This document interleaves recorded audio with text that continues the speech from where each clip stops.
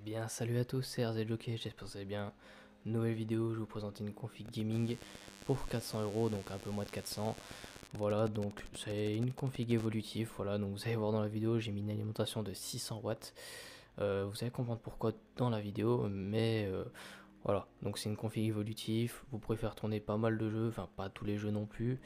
Va faire des réglages, voilà. Donc je vais vous mettre tout de suite la vidéo de la config, à tout de suite. A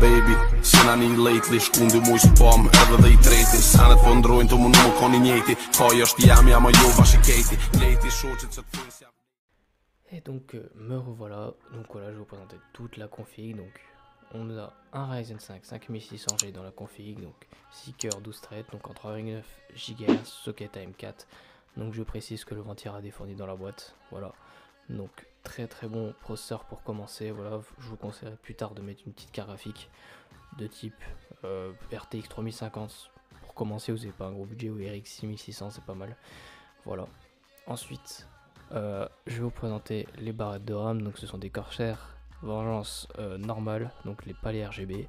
Donc, en DDR4, il y a donc à 2 fois 8 Go, donc 3200 MHz. Donc, de bonnes barrettes pour son prix, donc 47 euros, c'est vraiment pas cher. À l'époque, on retrouvait plus dans les 80-90 euros. Voilà. Et encore, des fois, ça montait déjà à 100 euros. C'était il y. Voilà. Ça, ça a bien baissé. Voilà. Ensuite, la carte mère, donc c'est une ASRock B550, voilà, donc on peut pas faire moins cher à part, il y a une gigabyte, mais gigabyte c'est pas les meilleurs non plus.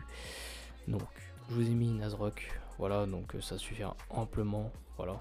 Si vous overclockez pas le processeur, ça suffit amplement, voilà. Donc ici l'emplacement pour la carte graphique, le processeur, l'emplacement des RAM, des barrettes de RAM, je veux dire.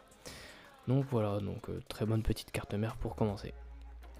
Ensuite, un SSD, je vous ai mis un SSD de 500 Go en SATA. Voilà, parce que c'était moins cher. Donc 31 euros, c'est vraiment correct. Parce qu'à l'époque, on retrouvait plus dans les 50-60 euros. Voilà. Donc franchement, prix très correct. Voilà. Ensuite, pour le boîtier, bon, c'est pas le meilleur des boîtiers, je vous précise. Hein, c'est pas le meilleur, mais pour le prix, je pense qu'on peut pas faire meilleur. On va dire ça comme ça. Donc, euh, c'est un Aerocool Silon Mini blanc. Voilà, donc il est disponible en noir aussi, mais euh, je pense qu'il est un peu plus cher sur euh, voilà, donc c'est sur Amazon.de, donc Allemagne. Donc ici il y a la bande RGB tout là, voilà. Donc c'est un mini boîtier, donc c'est un mini ITX si je me trompe pas. Donc ça sera assez pour commencer, voilà. Donc l'emplacement de la lime, voilà, il y a déjà un ventilo à l'arrière. Après je vous conseillerais d'en mettre si vous avez le budget, voilà. Et ensuite pour l'alimentation, on se retrouve sur Amazon France. Donc c'est une alimentation EVGA 80 plus white, donc une 600 watts. Voilà, donc comme j'avais dit au début de la vidéo, bah j'ai mis une 600 watts, donc pour l'instant elle est en rupture de stock. Ne vous inquiétez pas, elle va pas tarder à revenir, je pense.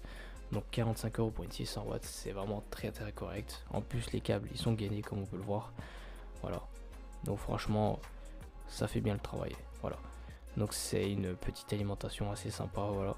Donc amplement suffisant pour la config. Voilà, donc c'était RZ.